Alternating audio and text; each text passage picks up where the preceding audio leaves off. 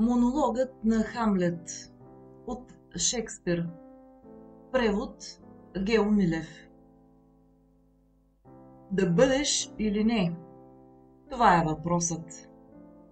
Дали е по-достойно за душата да понесеш камшиците, стрелите на бясната съдба или да се опълчиш сам срещу море от мъки и да им туриш край? Умри, заспи не повече. И знай, че твоя сън е краят на сърдечна скръп и хиляди жестоки удари, дял на плътта. О, ето, край желан, умри, заспи. Заспи или пък, може би, сънувай. Да, и това е пречката – защото какви ли сънища ще ни споходят сред този смъртен сън, когато ние отхвърлим всеки земен смут и мъка. И той ни спира. Този страх превръща живота в дълголетна нещета.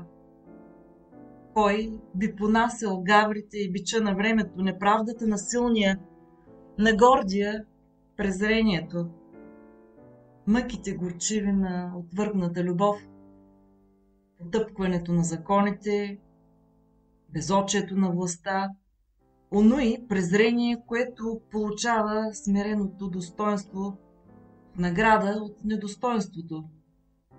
Кой би търпял това, що може да намери мир с едно замахване?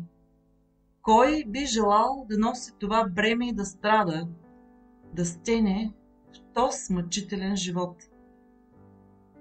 Но ужасът пред нещо след смъртта, страната неоткрита, от която не се е връщал никой път ни още, смущава волята.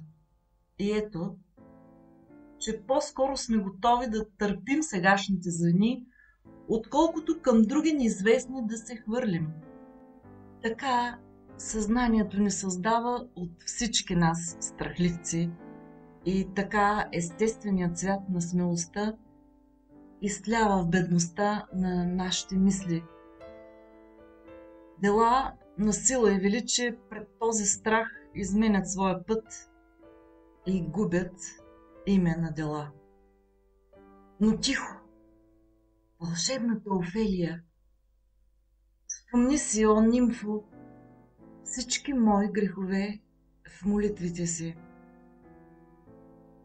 Слушахте монолога на Хамлет, пиесата на Шекспир Хамлет. До нови срещи, мили приятели!